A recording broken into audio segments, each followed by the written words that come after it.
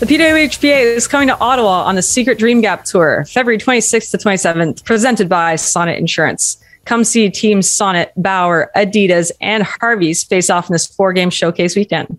Visit pwhpa.com for ticket information. The PWHPA is also super excited to announce that we have partnered up with Washington Capitals to bring the Secret Dream Gap Tour to Washington, D.C. on March 3rd to 6th. Come see the team Bauer, Sonnet, Adidas, and Scotiabank take the ice in a four game showcase. We will be there hosting three development sessions for youth, elite, and adults in the area. You can find all information you need, the tickets and more, washcaps.com slash PWHPA. Again, washcaps.com slash PWHPA. Hello, hockey fans. This is the Knoxy and Kax Show in partnership with the PWHPA and SDPN. We are through the preliminary rounds of women's hockey at the Olympics, and we are lucky to have on the show. You may know her as Sportsnet 590 The Fans co-host, creator of the A List, but we know her as former professional hockey player, Dartmouth and Ryerson alumna. And if you're Jim Jackson, you know her as Ashley. Please welcome to the show, Ailish Forfar. Hey, hey guys. So Welcome. glad to be joining you. Excited. yeah, sorry we didn't send you the Tukin headphones memo. That's yeah, uh, that's on right. I could run off and get them. I was gonna wear my Markham Thunder jersey actually, and I was like, you I gotta should. dust that thing off. No, it's framed. I'm just kidding. Oh, oh yeah, gotta didn't get much use actually. It's like still got the stiffness in it. Like didn't get much use, but uh, anyway, yeah. well, like I said, I feel like a lot of our SDPN listeners will know you from the fan but we know, we go a little bit further back than that. Oh. So, do your do you think that your you know your co-hosts, your co-workers, and the fans really know the extent of your hockey background? I don't know. I don't think so. Sometimes I get people that are like, I looked up your hockey DB stats and you like you got like eight goals. I'm like, that's a little bit higher than I thought I got. But I don't know. It's a it's a weird world living in the radio sphere. I don't think people really know you that much. so let's take it back to college. You're you went to Dartmouth right? 2012 to 2016. Yep. What did you study there?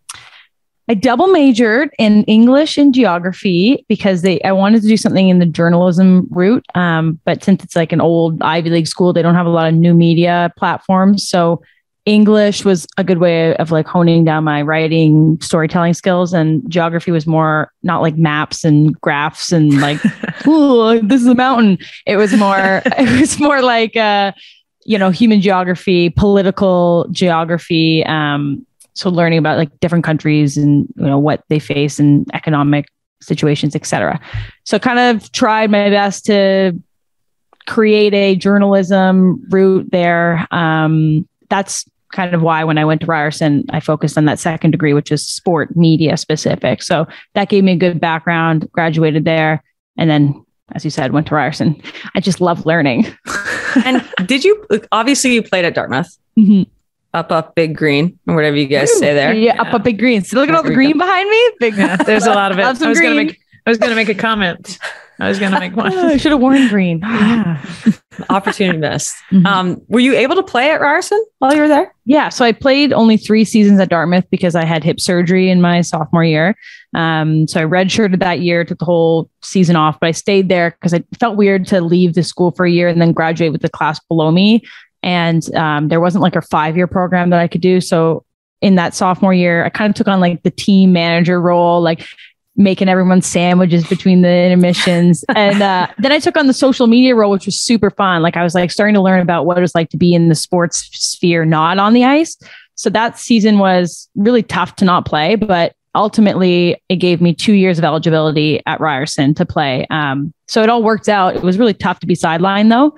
Um, but you know, my my class, my the six of us in the class of 2016, we were really really close. All six of us were Canadian. You might know Laura Stacey as one of them.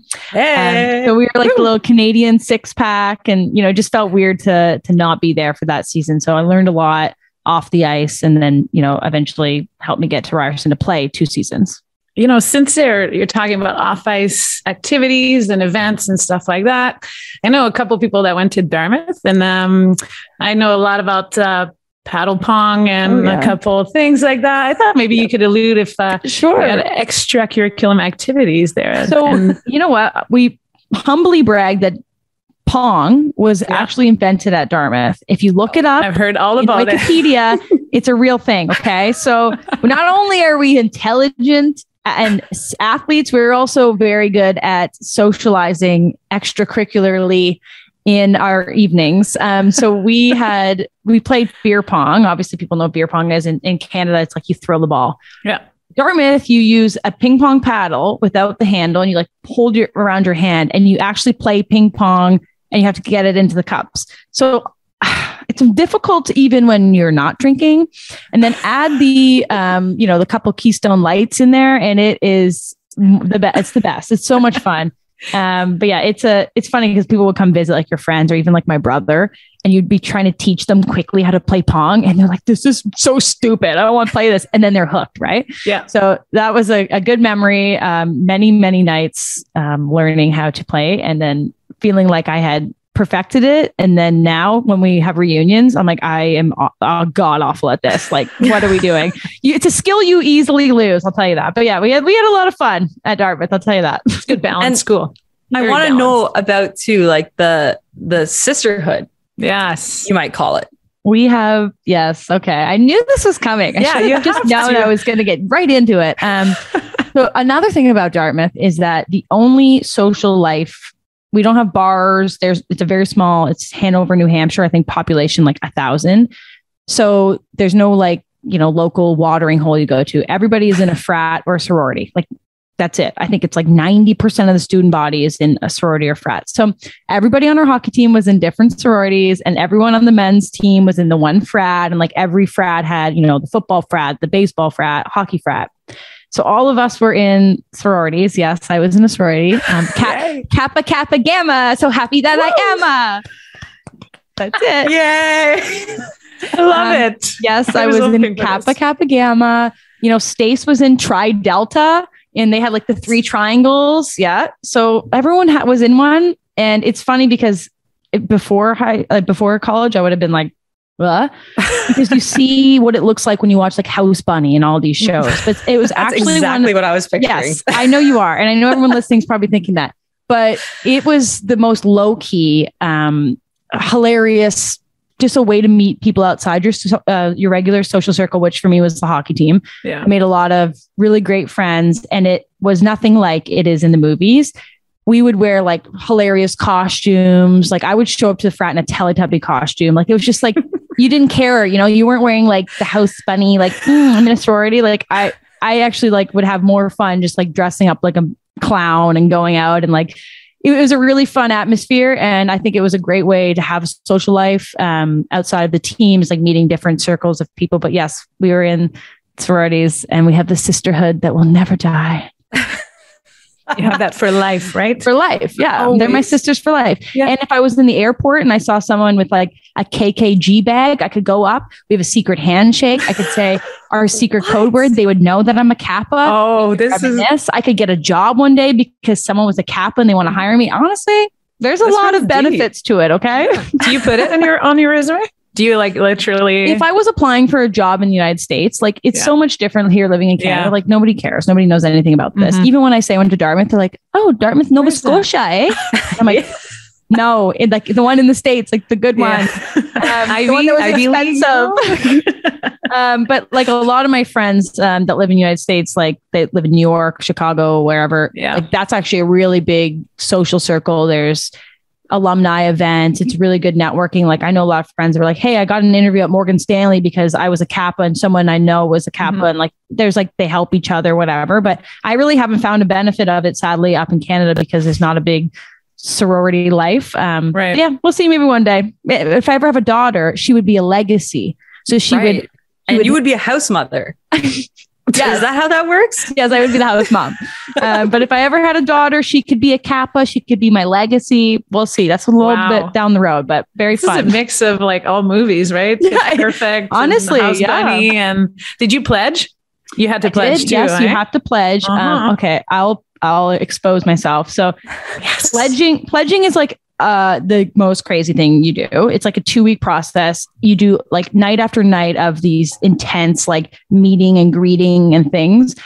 And then when you're finally you select your house and they or that your yeah your sorority your house they select you back whatever i'm not going to get into that. It's, it's so intense. Um you do you do like a week of pledge duties and it's not as bad like the frats get like legitimate like lawsuits about it like there's really bad things that happen to fraternity brothers the girls it's more like no, you gotta you gotta wear like a really ugly outfit and like put your hair in pigtails. Like there's there's one you can uh the girls can walk on the grass in like, yeah. on campus. Right. so like just stupid things. Yeah, you can't walk through the middle. Things. You gotta yeah. paint your nails yeah. different colors. But the my senior year, I ran for pledge mom and I got selected to be pledge mom. So I was in charge of all the new newbies. Well, I had some fun. I had some fun with that. It was really fun. It was oh so cool, God. like to meet them because they'd be two years younger than me at that point, and I was like their pledge mom, right? Me and another girl, Reed. Uh, we had a blast. So that's amazing. We won't get into that. That's for another time. But it that's... was really fun. It wasn't like rookie initiation, but a little no. bit like that. right. So speaking of leaving a legacy, on a slightly more serious note, yes. um, in your senior year at Ryerson, you mm. were part of a group. This was your senior project and you guys did a documentary style film called The Dream Gap, um, featured players that you may have heard of, mm-hmm. like Marie-Philip Poulin, Hilary Knight, um, tons of people in there. Yeah. So, talk us through a little bit about why kind of that was such a pivotal time for you to create that. Mm-hmm. And obviously, you had vested interest because you were part of the Markham Thunder at the time. Right. And just kind of talk, mm-hmm. like, tell our audience a little bit about what what that's about. Mm-hmm. Right. So I mentioned briefly that I got to play two seasons at Ryerson, which were awesome. Um, a big culture sh- change for me playing in the NCAA, coming to play U Sports. I had really like really successful two years there. Afterwards, I helped coach the team a bit for that next season, but that season I was also playing my first year in the CWHL. And so, kind of juggling all those things at once, um, trying to get into a sport media role, also being a player, also thinking, okay, my hockey career you know, where am I going to go with this? The league folded, and that was really tough as a first year player who really didn't get my feet really underneath me. Um, didn't get much opportunity to like sink into what it meant to be a professional hockey player. But all I knew is that I really I respected the women before us that had built that league, and I could see how impactful it was when I was at a game. You know, I wasn't doing much on the ice, but afterwards, it would be so great in the lobby just to talk to like young girls and to and, and young boys that came and like to see how important that was for them. So when the league folded, I just felt like I wanted to try to help tell the story of what the players were trying to do in that in that year there. So in your senior year at Ryerson, um, in the sport media program, you do something called practicum, and you are literally given a, a blank slate, and you can do whatever you would like, sports related, tell some sort of story. So I I was I created a group and I was the producer of this storyline that I thought was really important. And I and I handpicked some really incredible people to work with um, videographer editor etc and I said guys I really want to tell the story of the, what the PWHPA is what they're doing because nobody really is there to tell that story yet. And I have the access to just be like, hey, hello, Poulin, you know me. Um, do you want to interview with me? Like, hee. And she's like, sure. And, you know, I, I just had a little bit of more of an access than a traditional broadcaster that wouldn't have like the personal relationships with. And also at that time, I feel like the girls were wanting to have their voice accurately represented and sometimes yeah. that's difficult in traditional media because it's like looking for a quote, right? And and I even like when we talk as athletes, like we talk, like you know, we're bros. but when I when I even when I interview people, there's just like it's almost like a wall is put up sometimes because sometimes we're we're represented, we say something and it's taken the wrong way.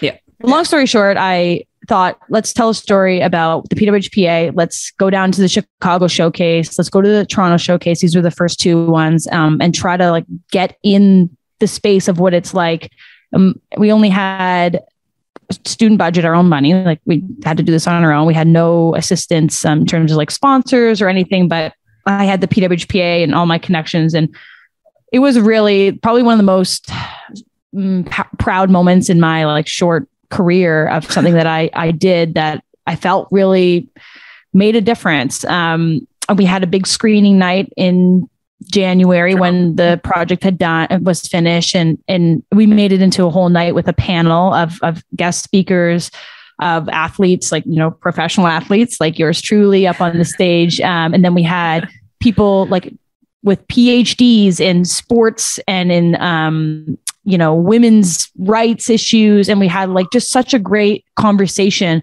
which is also was turned into a podcast that people could listen to. And we made this whole night a whole celebration about it. And yeah, the the documentary is only like a 20 minute long documentary. Like, you know, we didn't we weren't making a Netflix series there, but I just think it really tapped into the players, their message, you know, what it meant to to start fresh and to have this passion. Um, and I wish it's something I could continue. You know, now in my current role, I don't have the the time or the effort available to do something like that. But it just was a snippet of what could be. Like if they did a Netflix like F1, that F1 Drive to Survive yeah. that I'm obsessed with. Yeah. Imagine they did that for just a, you know, one year and followed around the PWHPA and like saw what people were doing. So that was like my baby attempt at that. And I'm still really proud of it. And I think it's, you know, you can still watch it and it's still available, even though it's a couple years now, but it shows exactly that starting moment of like what it meant to create that momentum. Yeah. And I think you you actually grasped everything and the voice of the players and how and mm-hmm. why and where it was going and how much it affected us when the CW kind of folded and everything. Mm-hmm. And you know, you alluded to it, but not really. But how was it to work also with Billie Jean King? Like you got to sit down right. with her. Oh my god, I just got icon, chills. Right? Okay, there yeah, it goes. Like, it, oh, yeah. so that happened on such a whim. We wanted to have, you know, we had Jayna, obviously a very important voice um, we had the players and it was like we're missing somebody that's been through this like someone that can be like hey i've done this right and billie jean king is like the pinnacle of that in sports and women's sports especially so somehow I was just like the greediest little, like hungriest person in the emails, like Billie Jean, Billie Jean. Squeaky wheel. You know? Yeah, I'm just like squeezing my way in there um, and found the way that we would go to Chicago on our own dime, um, rent a car, all of us drive down there and go to the Chicago showcase with the idea that we would get a 10 minute interview with Billie Jean King. Like I was like, I will do, I will take a train there. I don't care. So we get the opportunity to interview her and God, like I can feel my voice even shaking a bit because it was just so special. You know, I wasn't even a tennis person growing up. It doesn't matter. Like, you know who mm-hmm. Billie Jean King is and you know what she's done for women's sports in general. So I got a chance to sit down with her um, just in the like boardroom of the at the Chicago showcase tournament where like the Blackhawks practice. She was amazing. She was so cool. Like and it was funny because I came in like it's like one of my biggest interviews. I'm like a young, like 25 year old, mm, no, 23 year old that's like never interviewed anyone. And I have like my notebook and I had like a line of questioning. I asked her one question. I think she went on for 10 minutes. Like it just like went on and I'm just sitting there like, oh my it. God, just like spewing knowledge and spewing experience and like you know what, this is what it's like to be in this moment. And this is what it means for the girls. And this is what they need. This is why it worked for me. And like, I was just like listening, like, wow, I could just like, I want this to be blasted on the radio. I want people to hear this. I want people to understand like it is doable. She knows, she knows it's hard work, but like there is a process to it. So amazing experience. Um, I have a photo with her after us. Like, Can I get a photo with you? About like, like a literal fangirl. Well, um, you're you're one up on me because I still haven't met Billie Jean King, and I've been working. Come on, for are you like serious? Three years. So. I'll send you the photo. We can Photoshop your face in there. Pop me in. Yeah, okay. that's perfect. No, we, like you stay in the picture, but yeah, perfect. We'll, you can be on the together. other side. Yeah, uh, she's so great. But yeah, that was a really awesome moment, um, and just to to see how much she believes in the PWHPA yeah. as well. Sometimes you have people like, oh yeah, they're gonna do great. Like go for it. But she's invested in the actual success and and wanting to be a part of that story. So just yeah uh, god it was so so cool. I, I i haven't thought back about it for a while but those are one of those career moments that you're like wow that's pretty awesome. Like I got to interview Billie Jean King, so that's pretty sweet. yeah, I love that. And then the fact that you said she's invested, I think I think that's why we believe it so mm-hmm. much more. Mm-hmm. To yeah, like she's she's directing and and allowing us to believe even her, more. I just love her.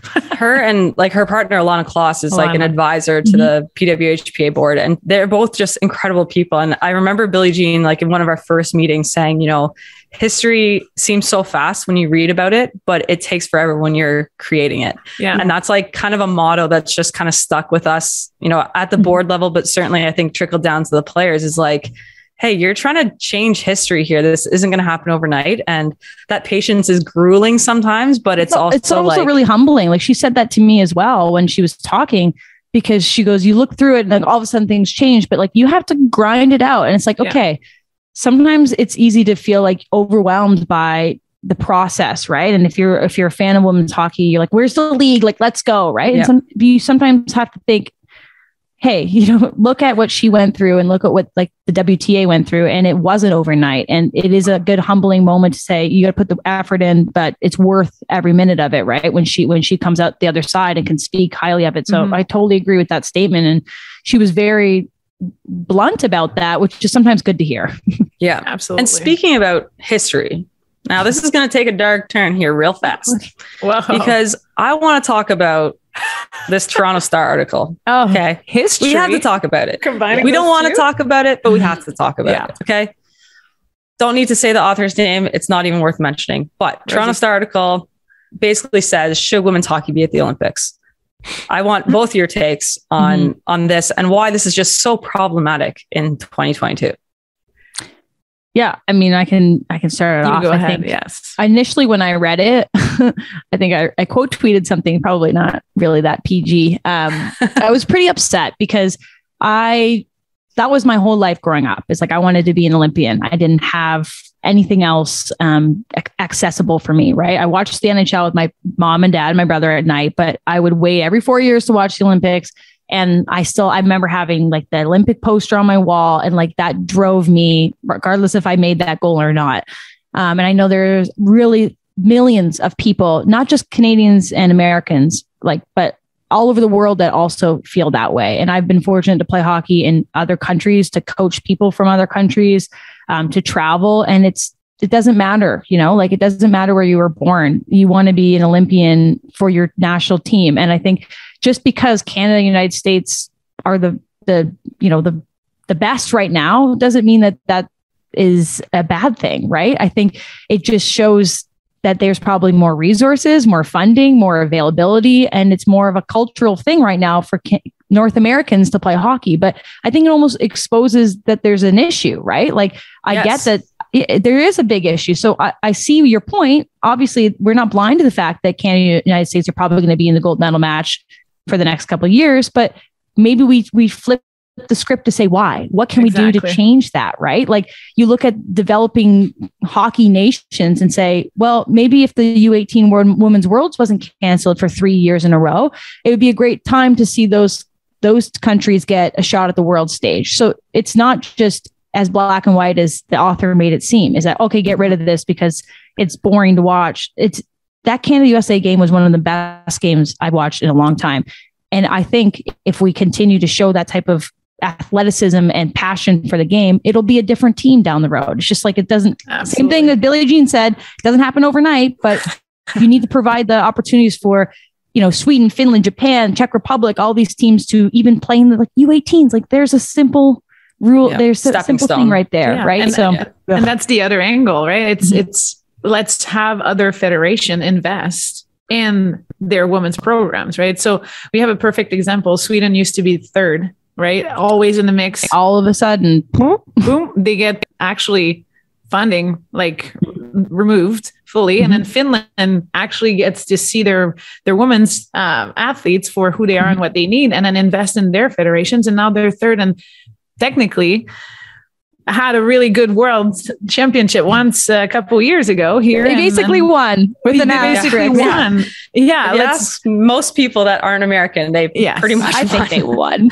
exactly. I mean that call was weird and everything we all agree but to, to to me that's where the line needs to be or the the angle needs to be taken. Like you got to look at okay canada and us have the money to support the facilities Mhm. uh, the amount of games and the pool of hockey players let's Mhm. let's know like that is why we have canadians elsewhere too let's be honest here but Mhm. like the amount of players that we can groom versus those countries let's help them and that's Yeah, what like you know uh, hockey canada used to do a little bit and have like um i guess tournaments or like summer events there Mhm. where they would develop players and this is what needs to happen and keep happening obviously with Mhm. covid with everything that that we see now it's tough and then worlds being canceled they don't understand how much of an impact those events being canceled have on our sport actually at Yeah. like the ground like ground level like you're you are only under 18 for a certain time. I mean, and yep. those are your chances to potentially make that national team once in your life.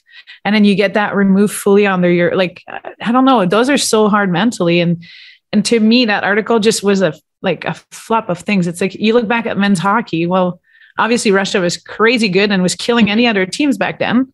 Like, do we hate that? Did we did we not like hockey? Yeah. Oh, like, let's take men's hockey out of the Olympics. Like, right? no, that was never the story, right? Imagine. And I think we we did talk about it a little bit before we started recording here, but uh, Jayna Hefford and Allison mm-hmm. Fox, who Allie is, you know, one of my idols. I would say she was a player when I came to Brampton.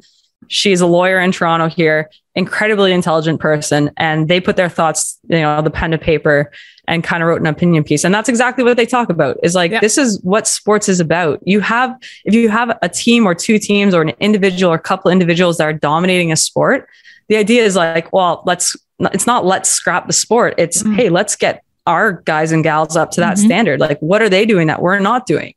And for some reason, we're having this conversation in 2022 about women's hockey again. Although I do have faith in our hockey community, I've seen a shift in the last few years, um, you know, of support. And I think that we just got to c- keep riding that momentum and, you know, like what we're doing with the PWHPA. This is this is mm-hmm. the whole conversation. This will come back because, yeah. you know, we create a place for the best players in the world to live sustainably and play hockey professionally they're not all going to be Canadian Americans. They're going to be mm-hmm. Finnish. They're going to be Swedish. They're going to be from the Czech, you know? So those players will take what they're learning here, the resources that they get here, and go back to their countries and improve their programs. So I think it's, you know, it's a trickle down effect. And like we said before, it takes time, but it's uh yeah, it was an unfortunate take, garbage take, in my opinion. Yeah. The good thing was you could see everybody outraged by it, right? Yeah. And yeah. that stuff doesn't slide under the radar anymore. Um, you can't have a take like that in 2022 and not expect to be ratioed into the moon. Like it felt great to see people supporting, but also it's like why why is this even getting the air like yeah, who allows an article like yeah and like who sits there and says yeah let's put this out there good one buddy like it's just like come on, you know, you should know better. But I was impressed by the amount of people that were just, you know, shutting it down right away and pr- yeah. providing insight to why, yeah. not just being like, hey, F you, this article sucks. It's like, hey, here's some statistics to why this yeah. is an old take and why, you know, have you heard about the U18s being canceled and people like yeah. knowing their stuff about women's hockey? That was a positive thing, not just us that are in yeah. the women's hockey world. not just us being like, hey, our feelings are hurt. Don't yeah, like people that actually support women's hockey that are not women's hockey players that mm-hmm. knew why that was such a bad take. That's what I took away from it. Is like, look, there's a lot of people that really care about women's hockey that are going to be outraged by this. So that's a win. Yeah. So thanks for bringing them out of on the Twitter sphere and letting them have their moment. I guess that's a win. yeah. So let's let's talk a little bit then about um, some of the teams at the Olympics because it's you know as much as we want to say it's a you know two pony race, it's not. There's mm-hmm. lots of teams uh, you know that are working hard. One of them being host China. So they started their development in preparation for hosting the Olympics. Mm-hmm. I would like to say four, if not more than that, years ago. Yep. Yeah. Um, and we saw it in the CWHL when KRS was introduced as a team and then the Vanke Rays. Mm-hmm. Um, and basically, for those listeners that don't really know the history, um, two teams from China joined the CWHL. Um, they put in a big chunk of change, uh, which basically funded, you know, I'd like to say the operations of the league for the last, you know, the latter Certainly. two years. Certainly. And yes. they basically did like a North American combine and found, you know, players, some with Chinese heritage, some completely not like no Chinese heritage uh, mm-hmm. in their lineage. And they handpicked these players, brought them to China, gave them beautiful facilities, like wow, world class. We yeah. got to play there, and I was like, "You might just leave me here." Honestly, I, yeah, it's nice. it was gorgeous, and they had fully staffed benches. They had doctors on hand. Like they had everything that we want in mm-hmm. professional women's hockey. So it yeah. was like, and the girls were making a, a good coin to be there. So give yeah. them credit. They put money into developing these players to represent China. Now, fast forward, we're in 2022. The Olympics are in Beijing. The Canadian born players that they have groomed, handpicked, are now Chinese citizens. They've given up. This is my understanding. Now, take it for what it is. My understanding is that they've had to give up Canadian citizenship to become Chinese citizens because you can't be dual in China. Mm-hmm. And we see now on the roster they're given Chinese names. Want your thoughts on all of this? Okay. Um, I think I personally, in the current cultural climate and social climate, would not be comfortable giving up my Canadian citizenship to be a Chinese national. That hockey aside, there's a lot of things politically going on in China that we don't need to get into, but I would not be comfortable with that. I was unaware that that was a specific criteria to play. Um, I know that other countries have been able to, you know, you find your lineage. You know, my grandmother was Finnish. I could have been figuring out how to get on the Finnish team. I didn't realize that it was like you're one or the other. You know, you can't be on both sides. So I wonder how that impacts after this tournament for them. That's the question for me. It's obviously an incredible experience to go to the Olympics. Like I would love it. I would do it. But with the idea that you lose your Canadian citizenship to play in this tournament, um, that to me, it's a, It's a big it's decision. no for me. It's Yeah. a big decision. And I think the impact of it moving forward is what makes me a little anxious. Like we've seen Yeah. Canadians detained in China for years. And like, I mean, not saying that that's going to happen. I'm just saying there's like, there's not always the greatest relationship between China and North American countries. So Yeah. all the best to them, not for me. Well, they they you know they scored a goal, so I think they're on the positive side True. of things, right? That's so right. might be best to they will let them come back. Yes. But no, I, I I agree with you. I think uh, even when they first joined the CDub, I'm pretty sure they Mhm. were already kind of talking about, hey, in four years you could potentially you know play Mhm. for China because you've been playing here for Mm-hmm. like three to four years, and you would get your. It was at the time I think they were saying like, um, like what is it, permanent resident type of Right. like Yeah. thing i never heard of like giving up my like citizenship fully um or from anyone else that were there you Mhm. know and and i i think that's a huge commitment uh but again beyond hockey um we all dream to make or to go to the olympics so at times like there's for sure thoughts that I was like, hey, I wish I was like from France, or I wish I had some kind of background and like for the Swiss team, or however Mhm. that is. And you join. I'm a little bit skeptical with the. I don't know if I would have joined the Chinese team, but I understand why yeah, Mhm. they did it. If they were solely focused on, you know, hockey, and I want to be at the Olympics, and I want to like li- live that dream type of thing. And who knows, maybe they have a bit Right. more information than we don't have. I would hope they do. That's what I was just going to say. Like, feel free to fact check me on that. And also, Yeah. like, full faith that, I mean, they probably have agents that they work with, like, uh, you know, Canadian embassy agents that Mhm. I'm sure somebody's overseeing this. Like, this is not just a knee jerk, like, hey, sign this piece of paper. And, you know, You're now Chinese. yeah, yeah like that. Your There's, life it is up. definitely runs a lot deeper than that.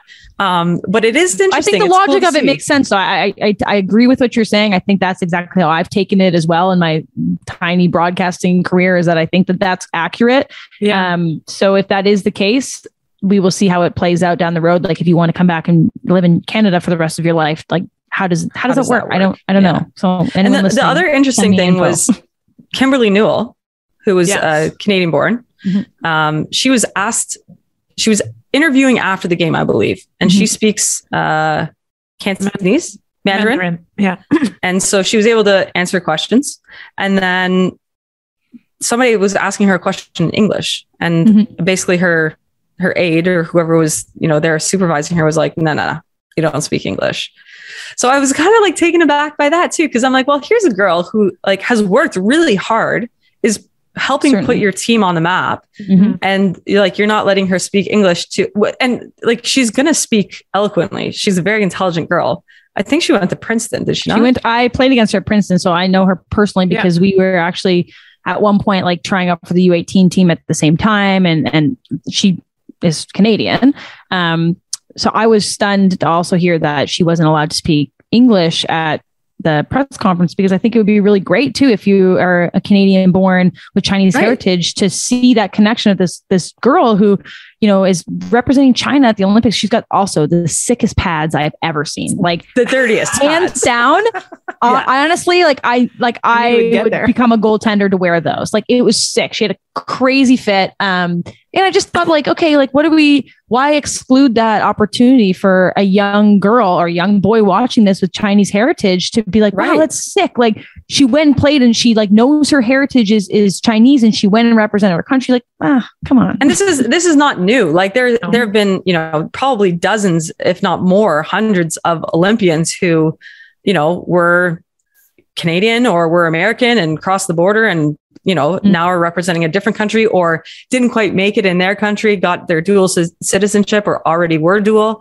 and now are representing a different country like this is this is not really a new storyline it happens so it's like I, I agree with you Ailish. like the it's it's the pride thing i mean you're at the olympics you you're proud to represent the country that you wear in your jersey and the Mhm. fact that she was kind of taken you know the opportunity was taken away from her to speak about that in english i mean it hurts at home more than anything because we're like I would have loved saying, to we're hear what she. her. I mean, I don't. I don't speak Mandarin, so obviously I wouldn't be able to understand, you know, what she's talking about in terms of like the. I'm sure she's talking about the honor to represent China and like what it meant to grow up, and maybe she she tried out for the Canadian Olympic team. I was like within the program when she was, and maybe there's a great story there about how she had to face that adversity and she found another way to live out her dream. But you know, unless someone's going to translate that and put it out in in Canadian media, we're not going to hear that. Like I don't see that floating around on Sportsnet or TSN because she didn't speak in English. So it's like you're you're cutting off that that story that's probably an incredible story of perseverance and finding your roots and doing what you wanted to do as a kid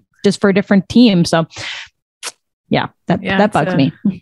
Maybe that's why we were all kind of like reticent to be, oh, I don't know if I'd go to China.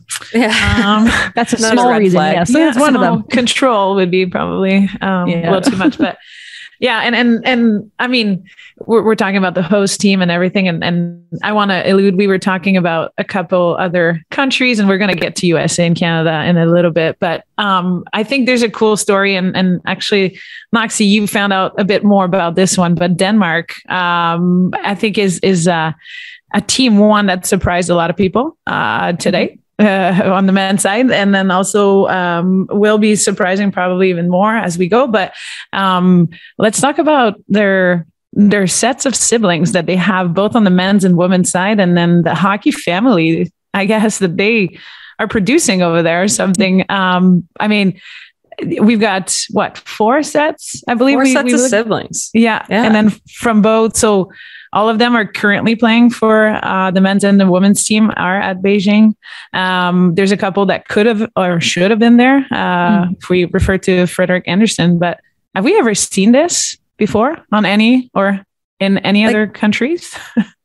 It- like Other all i can the imagine Kessels, is maybe yeah. like the Yeah, Kessels are the only ones I can think of, and I believe they were both at the last Olympics or the last last time that they could be there. Like I can't remember NHL when was- men were in. yeah 14? Um, Sochi? Four, yeah, Probably- 14, probably 10, I don't Sochi. even know. Yeah. But that is like that alone was like, oh my god! Like like North America was like blowing up with that storyline. Um, I mean, anytime they can talk about someone's sibling on a women's hockey game, it is like, hey, did you know that their sibling is a chiropractor and like the best chiropractor in Vaughan? You're like, nobody cares, man. But like, let's just throw in the sibling talk. And But, we're like, bringing the siblings here. Oh, you're yeah, like uh, but this this Danish story is amazing. Like ah, it is just it's you know what I'm gonna I'm gonna talk about it tomorrow on my A list at six thirty in the morning when I do my A list. I, I this is a kind of a newer story that came out today or yesterday.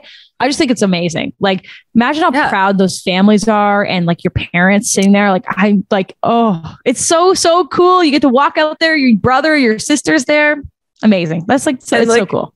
I, like in my head, I'm just picturing like, oh, they all grew up in the same neighborhood too. Like they probably just have street parties. They're like, all oh, the same kids used to play hockey together, and now they're at the Olympics. Like just small town feels. Yeah, it's a great feel good story, and obviously Ah. Denmark with a historic win over the Czech three two. Mhm. Love to see that. And like we said, this is a growing program. This is a, a program that this is their first time at the Olympics, both Mhm. men's and women's. Mhm. And you know, to get a first win against the Czech, and obviously showing tremendous opportunity for growth is a, say, a great feel good story. Maybe this maybe this is a plus on investing in your federations and your actual programs and players. Like here's Shit, a here's an article that. to write about, Rosie. Here's another one. Hit us up. and honestly, like that's how I felt about watching Japan during this Olympics. Like I have been able to watch. I have a couple friends that um, I know are in the Japanese hockey system, um, just through through my travels and my We have a playing. Couple yeah, and like it, it's um a lot of them are like Canadian born with Japanese heritage, and it's been really great to see how that federation has invested in their players. And I think Japan got two wins at this Olympics, one over Denmark and one over oh they they lost the shootout or to China, which was really tight, but they beat another team. I'm trying to remember off the top of my head. Oh, Czech. So like that's a pretty great start for you know a young and upcoming team as well. Um, I think that that's going to be something we see down the road is like them investing and them getting better. Um, so I thought Japan was a really good story. Group B was just like yeah, really fun to watch because it unpredictable, um, really close games. Really great to see these developing countries in the world of hockey getting a chance at the state at the big stage to play. Um, I do sometimes think that it's kind of lame that all group A teams make it through. So, yeah. You know what I mean? So like, it is, but it sucks. It is, but at the same I mean, it makes time, sense. Yeah. though. At the same time, I see and I understand why. And then the teams that are coming up too. Okay. We're talking A and B, but then there's France coming and there's like all these other like Mhm. top 15 fighting to get into the top 10. Right. And I, Mhm. I played with a couple French girls uh, with Les Canadiens and they were fighting like hard and almost made it there. I wish they would have been, but I, I just think like, again, I think we're on a positive growth in terms of women's hockey in all countries. And I, it's good to talk about these and it's good to be impressed about Japan and impressed about For any other teams that's having good performances. I mean, the Russians played well against Canada. I'm sorry, but it was Yes. Smash was challenged. Mhm. Like Emerance Maschmeyer in that it wasn't that many shots, but she had a breakaway. She had a couple Yeah. like Yeah, she redirections she- in front. she had to make saves when when it came down to it. So let's go to the Canada US kind of rivalry a little bit. Of Mhm. course, there's a little bit of controversy with the Russians Yeah. and the masks and the COVID fiasco. We won't spend too much time there. Don't ever complain about having to wear a mask in a grocery store or something. Right. You just watch these Olympians play a 60 minute game with KN95 and 95 masks on, and they still smashed Right. Russia. So just don't even come for me with the mask talk, people, because you can wear a mask in Dollarama. Okay. Yeah. Yeah, when you're just strolling around. Um, so where do you guys want to start? You want to start with USA? you want to start with Canada? You're the boss. Let's let's go US first. okay. okay. Love it. Um, I was most impressed, of course, Cameranesi and Carpenter. That Carpenter goal on the backhand, yeah. like that was an incredible shot. Not like she didn't have time to think about it. It was on an offer stick. Um, obviously, first period for the USA dominated Canada. Well, I was a little Had nervous, all- I'll tell you that. Biting my nails watching. We all there. were. they were wheeling and dealing in the in the ozone for sure. Mhm. And I mean, there's I love Carpenter. and I love that you bring her up because she was in there in last Olympics. She should have been there in my book. Yep. And Mhm. if we go back to even the previous Olympics, she was a stud that was a playmaker again, Mhm. able to like find players. And now we're truly seeing her for what she's worth and what she's doing. Like she's playing with Kessel. Mhm. They set each other up really, really nicely. And I mean, um, Cameranesi is the speed on that line. They keep the everything going. They keep the pressure, and that's what scares me for Canada. Is that Anne Renee did have to make some crazy saves here and there. 51 of them. Exactly, breaks a record, right? Yeah. And at the time, like it is one thing to like be in the game and there's shots back and forth, but when you're Mhm. stuck in your zone, Liz, let me know. But up, down, up, down for like No more thanks. than 30, No. 40 seconds. I remember Oh. we um, used to because especially when we played Montreal, we were on the PK a lot. We were always on the PK. I don't Guys. understand. Like that's my only memory of playing Montreal. Is that honestly like I, he'd be like, "Go go PK," refrain. and I'm like, "I this is the only time I get on the ice is PK," and I'm like, I'm finally exhausted for once in a game, and like it Yeah. was just endless PKs. Like Jill Saulnier, like her, just like uh, playing against her on the PK. I'm like, I literally don't put me out. Like she's gonna embarrass me. Please don't do it. I thought you were going to say like she's falling and that's why you get penalty. I was she, no, call you. she would be the one that would draw the penalty. You said it. she'd go well, I'm gonna say like- that Laura Stacey was doing Oh, a yeah, well, that fabulous job at that for Mark. Okay. Yeah, she's been like that since I played with Laura in grade Oh, well, 10. yes, we love she's, them. She's very, she falls, she's got, you know, the lanky body. Okay. Well, It's, it's just like- it's just the speed. She's got so much fast. speed, and then you it's like it's I like when you're on rollerblades, you know, and you hit like a little a little stick. Yeah. you're just gonna fall. She's Well, you either go over the stick and stick No. with it, or you just like, oh, I'm going to trip. Hey. Hey, let's go back. Let's go back. Sorry, we Yeah, got on to the Canadian. We got sidetracked. we got PK, we got everything. I thought honestly, 5v5 actually is where the US was dominating. Canada. Um, we have the best PK on the Canadian side. Power play wise for the US, let's go back to them, is missing Decker big yeah. time. Big, big time. Yeah. Um, I love Hannah Brandt, know her. She's mm-hmm. amazing, but she is not the level that Decker brings when it's on the PP. And I think that's hurting them big time. Honestly, and it's it's the hockey IQ of Brianna Decker. Like mm-hmm. she is I, I, called her sneaky in a previous episode. She's sneaky. Like you, mm-hmm. she's not very big. She doesn't take up a lot of ice. She doesn't look like, you know, she's not Hilary Knight. You're not mm-hmm. facing off against like, you know, this huge like being, but she, she finds these like soft spots, especially like on the back door, like quiet spots in the slot that, and when she gets the puck, like she just makes no mistake. And I, I agree with you, Kax. I think that that really is a spot where they're hurting, uh, missing her due to injury. Yeah, I'll say that I was really impressed with Carpenter stepping up as soon as the Decker injury happened. And I think it has a lot to do with not making the Olympics that last time and seeing it as an opportunity. Like, not that she's playing for herself, but if you think of it, like her and Bozek have a little bit of a chip on their shoulder. They were cut from the last time around. They fought their way back to be on the team. And that's an opportunity to step up. And she really did the last couple of games, you know, losing Decker in the first minute or first game, you know, that's really tough mentally, but you have to kind of think, hey, here's an opportunity for me. Like I'm going to be shuffled up a little bit higher in the in the rankings and I have a lot to prove. So I think she's certainly done that. Um, my biggest takeaway was from Canada is that I really think that the young D looked a bit out of yeah. place. And I think when you're talking about nervous. the five on five play, they mm-hmm. look nervous. And mm-hmm. I totally understand that. They played, you know, four games before that, three games before that against teams where they didn't have a lot of sustained pressure. You know, the D didn't have to make quick, timely decisions with right. Hilary Knight breathing down your back. You know, that wasn't as physical a style of play. And then all of a sudden you play United States and it was like, oh, this is this is it. Like this is intense. So right. I would say that the biggest weakness that Canada had, and is something that's fixable, is it looked like a little bit of jitters on the back end. You have what four or five new faces and never played in the Olympics before that are mm-hmm. young.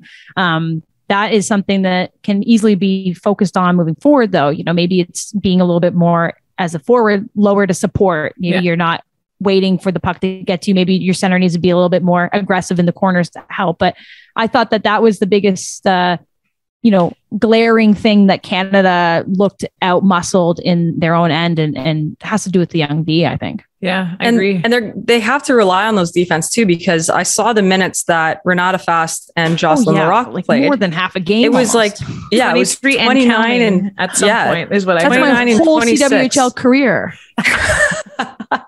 oh and, and they played outstandingly. Like I, yeah. I mean, Jocelyne was blocking shots. Renata had that save in the first period where it kind of trickled through and Renee. Like mm-hmm. we barely even talked about that. Like yeah. I was, I was rewatching, you know, the yeah. game the next day, and I was just like, man, like she just saved the opening goal, and we're all just like, yeah, that's just Renata doing her thing, like just, just saving a goal on the goal line. So it's true, but they can only play so much, right? Like you're gonna need those young D to step up.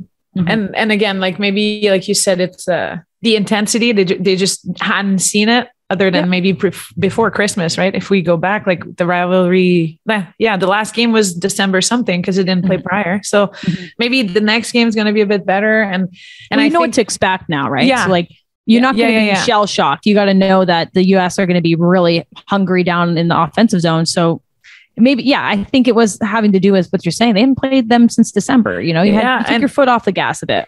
And i don't know what it was but the way they the way the us started the game their intensity was like hey canada needs to match it. Hey mm-hmm. hey let's get let's get up there. And you know i we spoke about her before but uh, murphy murphy's line having like yep. okay where it started I think i'm again, going to like her I, I, I, am going to hate her. I'll tell you that. She is a Marchand. So good. Me. She is good. She's, she's bringing she's like it. what, 19 or 20 or something. First of all, she's young and yeah. so so speedy. And it was funny because my co-hosts on the morning show were watching the game too, and I got like three or four texts from them be like, who's this Murphy chick? Yeah. All I hear is Murphy, Murphy, Murphy. And I'm like, yeah, get used like that. You're going to be hearing her name a lot. And she just for some reason, I mean, I didn't watch all the American games before. I'll tell you that. Um, obviously during the Olympics, I've been more focused on Canada than sleeping.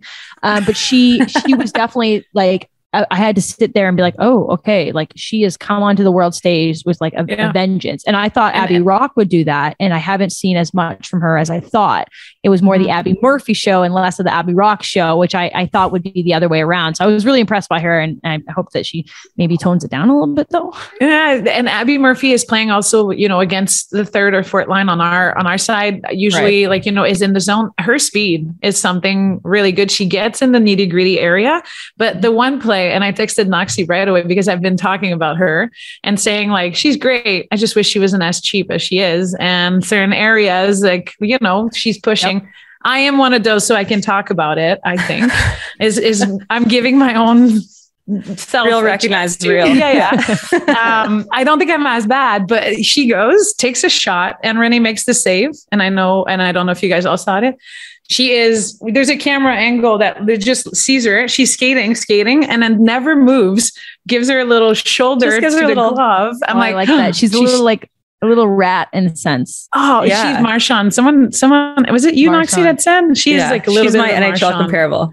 Yeah, Um, yeah, yeah, yeah. Speaking speaking about goalies, because this is an interesting situation. Anne Renee is a clear number one for Canada, in my opinion. I think in most people's opinion, 51 saves against the the Americans. The US on the other side have taken a somewhat different approach, and they've given each of their goalies a start or a couple starts uh, in the preliminary round. So where do we where do you guys sit on between Rooney, Hensley, and um, I always want to call her Rigsby, Cameron Cavallini? Cavallini. Cavallini. Yeah, you're right. It just makes the two names together. Yeah. Cavallini and Cameranesi. Um, I would, yeah, you go ahead first. You guys, uh, I'm, I'm, I'm pondering my answer here. okay. I think it's um um to me, and I oh, this is gonna be bad, but to me, Rooney has been over like over uh she was number one last Olympics, uh overrated in my mind. And I think that Nicole Hensley has been in her uh, shadow a little bit and wasn't given a chance really at the previous Olympics. And we've seen her play against Canada this year a bit more. Um, I think she's mine one, and then I'd go Rigsby, Cavallini, uh, Yeah. and then Rooney. So those would Yeah. be my my three. I mean, picks. Cavallini brings a lot of experience, right? I, I was really shocked to hear that her start the other day against, I believe it was Finland. yeah, I Her- think so. It was her first Olympic start.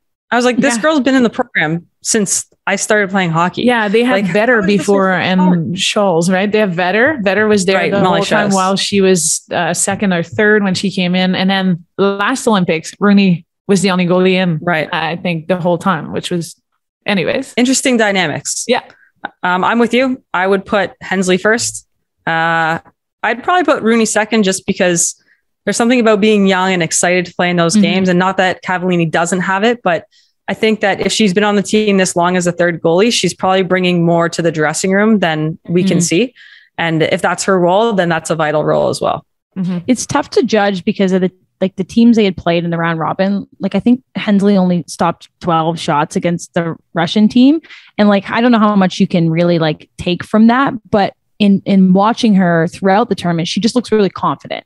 And like I'm not a goaltender, I don't know much about that, but like being able to stand steady when you're not faced as much too, I, I assume is kind of like the whole point, right? Like you might you might play against a Canadian t- team where like you had 51 shots on the other side, or then you might play where you only have 12 shots. But I think that she's Right. just looked really steady.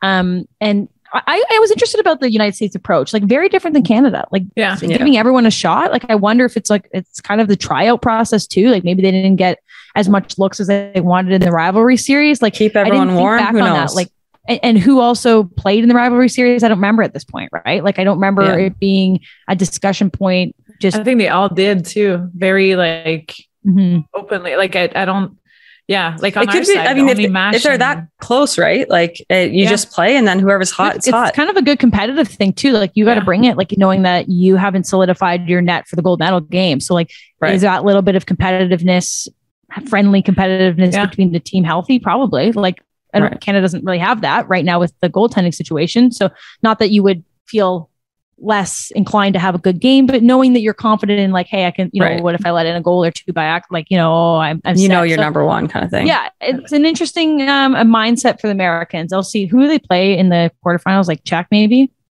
I think it's Chuck. I think, I think it's so. Czech, and then it would be like even their next game wouldn't be like as challenging. So it really comes down It's, to like it's tough to stay up, right? Yeah. Okay, so It's- we've given our American friends a ton of love here. Yeah. Let's talk of about the. Canadian gals. 'Cause we love them too. Yay. I'm going to start off hot because Kax and I think see differently on this issue. Okay. Mhm. Let's talk about the Poulin penalty shot. You go first then. Okay, listen, if I'm the US goalie and I see my defense haul ass back, get stick on stick, stick, stick lifts her, yes, slid up, came close to the hands, maybe hit the hands, but Poulin gets the shot off. In my opinion, that's a penalty. That's that's my take. I, Just it's a penalty, controversial. no penalty shot. Like you're Penalty I not. wouldn't versus call- penalty shot. Okay. I mean, she, if you're gonna take a penalty shot, like if I'm that D, take her out. Yeah. Like take her right down, make it worth it, right?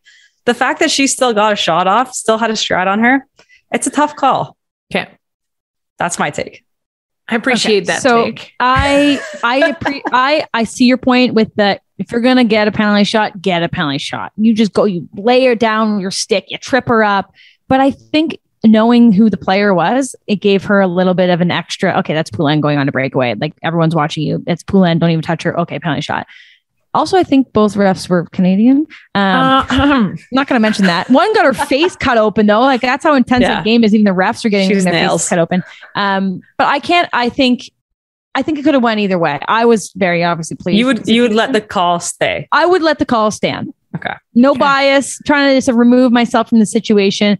I think she did interrupt her flow. I don't know. The, I need to read the actual rule though. Like, is yeah, it n- neither of us none of us are refs, Okay. so There's- let's is- preface that. is the rule like to interrupt the player's you know motion of shooting is it to hold them back from accelerating to get into a shot like i i would love to know but either way i still think it should have been a penalty shot Kax is just chomping at the bit. All right, Kax, okay, go so ahead. I think there's a um, no. I'm- think within the penalties, I believe there's a situational or where the players are within. Mhm. So if the player is behind the player that's getting a breakaway, usually interpretations is like aligning in- itself with a penalty shot more often Right. than not. So Barnes was clearly behind because the separations between the two had been happening, which is Yeah. crazy.